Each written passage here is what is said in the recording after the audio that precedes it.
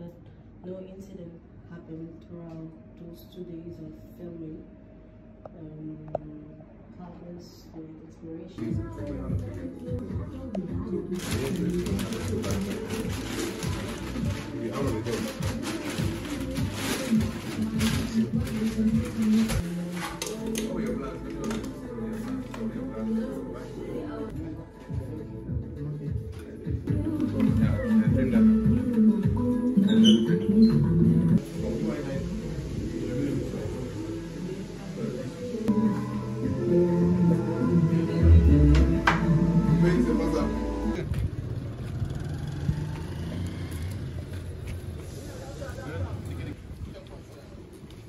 No,